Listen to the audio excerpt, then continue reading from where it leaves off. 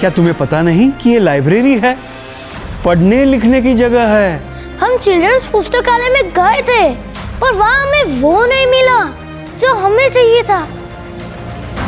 बंगाल की शस्य श्यामला सुजलाम सुफलाम धरती पे जहाँ भी एक मुट्ठी चावल बिखेर दो वहीं एक मन धान उगाता था।